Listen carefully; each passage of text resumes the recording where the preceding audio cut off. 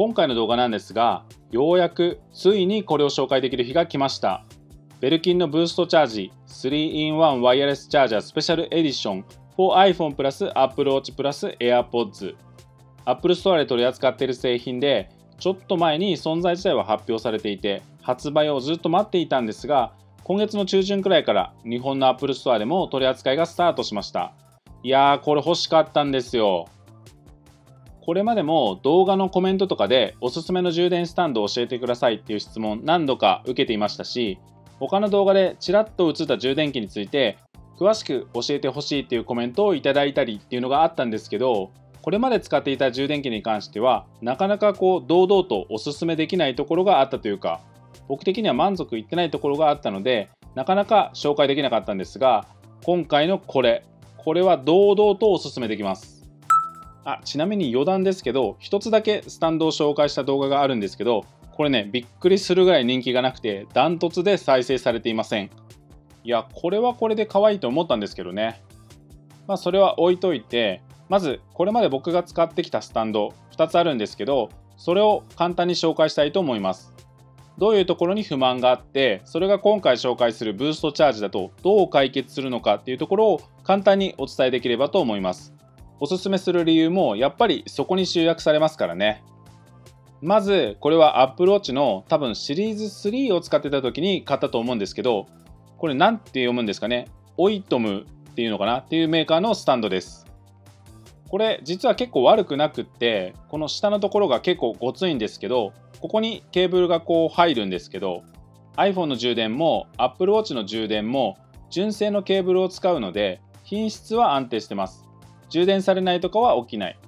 であとこの裏背面に USB ポートが3つもついていてここから iPhone と Apple Watch 以外のデバイスも充電できるっていうのが便利ですね。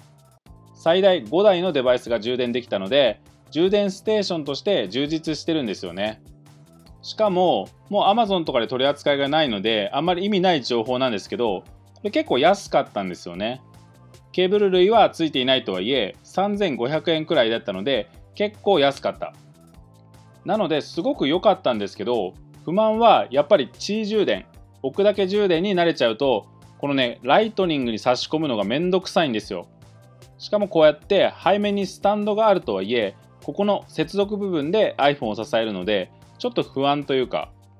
これ僕が iPhone3GS ユーザーだった時にこういう端子で本体を支えるようなスタンドを使っててバキッと折れちゃったことがあってしかもその時になんと iPhone 側の端子周りが割れちゃうという経験を知ってましてですねそのトラウマというか不安があってなんか安心して使えなかったっていうのもありますね。まあでもやっぱり一番はワイヤレス充電置くだけにしたいなと思ってその次に買ったのがこれ。ハーズサイダーラボのスライスチャージ2ワイヤレスチャージングマットです。これが他の動画で何回かちょっとだけ使ったことがあるんですけど結構人気で。問い合わせのコメントなんかももらったんですけど確かに一番の特徴は見た目のかっこよさだと思います。2018年くらいに Apple が純正のマルチデバイス対応した充電マット AirPower の開発を発表して結局発売はされなかったんですけどこの AirPower にインスパイアされた充電器がたくさん出た時期があったんですね。その時に出た一番かっこいい充電器がこれです。この薄さそしてここが布でここがレザーっていうこの見た目ですよね。一目惚れして買ったんですが使ってみると結構不満もありましてだから大々的にお勧めできなかったんですけど一番の問題はあんまりちゃんと充電されないんですよね。Apple Watch はここ。この真ん中がちょっとうっすらへこんでてここに当てれば充電されるんですけどこれが純正の充電器みたいにカチッと固定してくれなくてすぐずれちゃう。それから iPhone とかを充電できるこの両サイドもちょっとずれると充電できてなかったりするんですよね。すごくこう充電できるポイントがピンポイントなんです。それからこれはこういうエアパワー型の平置きスタンドの限界なんですけど Apple Watch のバンドのループが外れない機種は充電できないんですよ。一番辛いのはリンクブレスレット。これはもう絶対充電できない。それからスポーツループも結構厳しいです。まあ、一応こうやってちょっと無理やりにかわしておくことはできるんですけどウォッチが浮いちゃうと充電できないしっていうところですね。それから充電してない時スタンド自体の見た目めちゃめちゃいいんですけど実際充電する時はこう置きますよね。こうやると結構この面積を使っちゃうアプローチのバンドもスタンドからはみ出て広がっちゃうし iPhone 自体もこうやってスタンドからはみ出す感じになるのでこれ意外とあんまりすっきり見えないんですよね。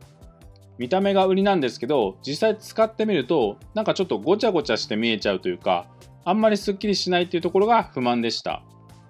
でこのスライスチャージ2の後継機として Apple Watch の充電器が独立したスライスチャージプロっていうのも出ててこれだと不満点の多くが解消するんですけどこうなっちゃうとスライスチャージの一番の魅力である見た目が普通になっちゃった感あるんですよね。スライスチャージはこの布の質感の薄い板であるところが好きだったのでこれはまたちょっと違うなぁと。という感じでこれまで使っていたスタンドいいところももちろんあったんですけどいろいろと不満があって何かいいのないかなとずっと探してた時に見つけたのがこれです。地位充電で置くだけだし Apple Watch はこうやって起き上がってるタイプの充電器なのでリンクブレスレットも置ける。そして iPhone はこう立てて置けるタイプなので底面積からこうはみ出さない。この範囲内に全端末が収まるのですっきり。安いにちょっと長々話してますがこれを待ってました。というわけで早速開けていきます。箱は結構大きいですね。Apple 製品のような雰囲気とは違いますがすっきりしていて結構綺麗ですよね。箱を開けるとスタンドがドンと入ってます。組み立てとかの必要はない分スタンド部分が立っている状態で入っているのでその分箱がでかいっていう感じですね。本体は滑り止めの意味もありそうなちょっとゴムっぽい質感のマットな部分とツヤのある部分とに分かれていてツヤのある部分にはフィルムが貼ってあります。このフィルムを剥いでいきます。そしてアダプタを差し込む。これも向きがあってぴったりとはまるようにできているのでこれを差し込めば完成ですね。あとは電源につないでそれぞれ充電したいものを置いていくとしっかり充電されますね。Apple Watch の充電部分は純正の充電ケーブルを差し込むタイプのものもありますがこのスタンドはこれも元から入っていて全く組み立てる必要がないのはいいですね。使い勝手の面でもすごく考えられていて例えば iPhone はこの iPhone を置く手前の部分が少しこうせり上がっているんですね。このスタンド部分自体もゴムっぽい質感で iPhone が滑らないんですけど仮にこうケースの素材だったりの影響で背面が少し滑りやすかったとしてもこの下のところがちょっと出っ張ってるので手前に滑っては来ないんですよね。この充電部分から iPhone 自体が浮き上がらないような設計になっています。僕の iPhone は 10sMAX なのでちょっと大きいのでこういう立てかけるスタンドだと不安定になることもあるんですがこれは全然安定してますね。同じように AirPods を置くところも少しへこんでいてこれももちろん素材として滑りにくいんですが仮にちょっと傾いたとしてもこのへこみのおかげで AirPods はここに安定するんですね。AirPods は小さくて軽いので、ちょっと当たっちゃったりとか、衝撃で AirPods が充電のポイントからずれちゃって、それで充電できてなかったみたいなショックなことたまにあると思うんですけど、これなら大丈夫ですね。スタンド自体も重量 500g くらいありますし、そこの素材も非常に滑りにくくて、AirPods だけとか充電してる場合でも、スタンドが動いたりしない安定感もあります。シンプルですけど、細かいところですごく使いやすくなるような工夫が盛り込まれている感じですね。スペックを確認すると、ワイヤレス充電の電力は 7.5W。有線だともっと速いのもありますが、ワイヤレス充電 5W っていうものも結構多いので、ワイヤレスとしては結構高速充電が可能です。Apple Watch は横向きのナイトスタンドモードが起動する向きで充電。こちらは 7.5W じゃないと思いますが、充電スピードは純正と比べて大きく変わらないかなという感じです。もともとアプローチは充電されるのが早いので、それと比べて遜色はない感じですね。それから iPhone のケースはつけてても OK。僕はケース使ってないですけど、3mm までの厚さならそのまま置いて充電できるそうです。置くだけなので、あんまり特殊な形のケースとかだと傾いて充電できないとかあるかもしれませんが、まあ、常識の範囲ならケースつけたまま使うことができます。AirPods も 7.5W の高速充電っていう感じではないので、これもまあ制限があるのかもしれませんが、AirPods ももともと充電は早いので、実用範囲内で全く問題なく使えます。AirPods Pro はもちろん、第2世代のワイヤレスチャージングケースの AirPods なら充電可能です。ちょっと僕は第2世代の AirPods は人にあげちゃったので、手元にあるのは第1世代の AirPods。なのでワイヤレス充電ではないんですけどサイズはまあほぼ一緒なのでこんな感じですね。プロじゃない AirPods も違和感なく置けるという感じです。iPhone、Apple Watch も同様でワイヤレス充電対応しているモデルは全部使えます。Apple Watch はつまり初代から全機種使えますね。スタンドの空張りは白と黒。僕は今回黒を買いましたが結構迷いました。白も綺麗だなと思います。僕はデスクと馴染むように黒にしましたがこれはまあどちらもいい感じの色ではありますよね。という感じでスペック的にも十分。Apple 好きなら買いという感じなんですがもちろん100点ってわけではなくて気になるところ購入する時からちょっと迷った部分はあるのでそれもちょっと紹介したいと思います。一つは値段。やっぱちょっと高いですよね。税込みで1万5000円ちょっと。うんスタンドに1万円以上かと結構悩みました。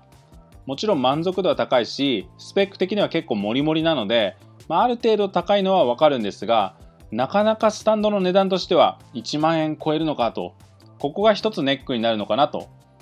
もちろんアプローチの充電部分が元から装着されているのでここを後から差し込むタイプだと実質その値段分もかかるので充電器分の値段も含まれていると考えればちょっと高くなるのも納得はできますけどそれでも比較的高価な部類にはなるかなと思いますね。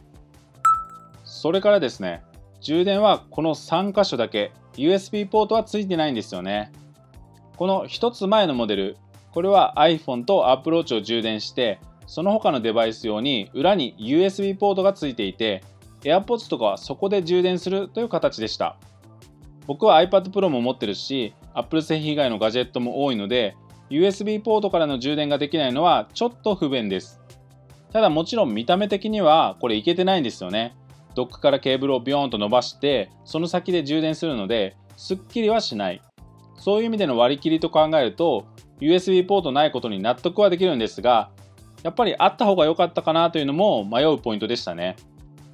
という感じでちょっと高いしこの3デバイス完全専用品という感じで他のデバイスが充電しづらいというデメリットはあるものの Apple 製品のステーションとしてシンプルにかっこいいし満足度はかなり高いです。とここまでの2つは購入前から想定していたというか理解して買ったものなので良かったんですがちょっと想定外だった気になるポイントも2つ。1つはこの LED ですね。これがなかなかですね明るかった。明るい部屋だと全然気にならないんですけど真っ暗にすると結構しっかり光ってるなと。これが気になる人には気になるかなと思いました。充電中であることがわかるので便利なんですけど iPhone も AirPods も本体側で充電中か確認できるのでないならないで困らないよなと。もちろん iPhone は充電中でも置いてたらすぐ画面は消えますし AirPods のケースの LED もずっとつきっぱなしではないのでちゃんと充電されていることがわかるというメリットはあるんですけどちょっと僕はこの LED が気になっちゃいました。あとこのバンドのサイズ感。パッケージだと綺麗に収まってますが AirPods を置いた状態で Apple Watch を充電するにはスポーツバンドは閉めた状態だとサイズ的にちょっと無理なんですよね。僕はこれ長い方のスポーツバンドを使ってるので無理やり AirPods をはめる感じでいけなくはないですがそれでこの感じなので短い方だと絶対無理。なのでこのパッケージの感じにはならなくてバンドは開いた状態で充電する必要があります。過去のスタンドで不満だったバンドがスタンドからはみ出す問題。平置きほど邪魔にはなりませんがこれはやっぱり想定外ではありました。僕はスポーツループを使うことが多いのでスポーツループだったら問題なく3デバイス同時充電ができますがスポーツバンドだと AirPods の同時充電がすっきり決まらないなと。致命的ではないけどちょっとああそうなんだと思っちゃったところではありますね。とはいえ多くのスタンドの不満点を払拭するようなスタンドであることは間違いない。ようやく決定版と言えるような充電ドックが登場しました。いくつか不満点も挙げましたがそこが納得できるようだと見た目はシンプルでかっこいいしコンパクトで場所も取らない。使いやすさもいろいろ細かく考えられていてかなりいい感じのスタンドだと思います。いやこれは買っちゃいますよね。他の選択肢としては同じベルキンの 3-in-1 チャージとして Apple Store 向けとは別のモデルも登場するようです。Apple Store のものがスペシャルエディションと名前についているのでこれがない通常版の 3-in-1 ワイヤレスチャージャーということでしょうかね。これは日本での発売日未定のようなんですが土台部分の形がちょっと違いますね。今回僕が買ったのはソリッドな感じ。僕的にはソリッドな方が好みなんですが部屋との相性などによってはこちらを選ぶのもいいかもしれません。あとはこれもまた日本発売未定のようですがサテチというメーカーも 3-in-1 チャージが出るようです。サテチは以前紹介したこのモバイルアップルウォッチ充電器のメーカーで品質は期待できると思います。正直今回買ったベルキンのスタンドとサテチのスタンドどちらを買うか非常に迷いました。なんでベルキンの方を選んだかといえばベルキンの方が先に発売されたからというだけだったりします。見た目は違いますが僕が過去のスタンドに対して持っていた不満点が解消されているという点ではこのサテチのスタンドもすごく良くてですね。今回紹介したベルキンのスタンドがちょっと好みじゃないんだよなという場合はこの発売を待つという選択肢もありかなと思います。ユーザーとしては悩むところでもありますがこうやって選択肢が増えてきてるのは嬉しいですね。はいという感じで今日はベルキンの充電ドックブーストチャージ 3-in-1 ワイヤレスチャージャースペシャルエディション for iPhone プラス Apple Watch プラス AirPods を紹介しました。はっきり言って最高。まさに待望のスタンドです。これまでおすすめのスタンドを教えてください。というコメントをいただいた方々にはのらりくらりとぼやっとした回答しかできておらずすみませんでした。これからは断言できます。これベルキンのブーストチャージ 3-in-1 ワイヤレスチャージャーおすすめのスタンドはこれです。今回の動画で説明が足りてない部分や気になる箇所があれば分かる範囲であれば回答いたしますのでコメントをお願いします。という感じでこのチャンネルではアプローチに関する様々な情報を分かりやすく説明しています。今回の動画が役に立った方はぜひ高評価とチャンネル登録をお願いします。というわけで以上 Apple Watch ジャーナルでした。バイバイ。